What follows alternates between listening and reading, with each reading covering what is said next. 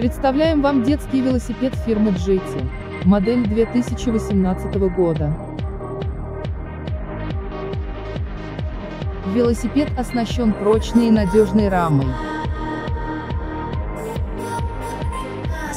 Установлена качественная и надежная вилка.